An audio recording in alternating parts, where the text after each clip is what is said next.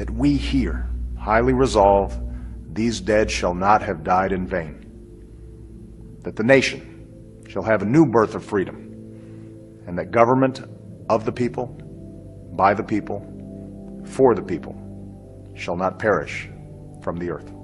This nation under God shall have a new birth of freedom. This nation under God shall have a new birth of freedom. This nation under God shall have a new birth of freedom. This nation under God shall have a new birth of freedom. This nation under God shall have a new birth of freedom. This nation under God shall have a new birth of freedom. This nation under God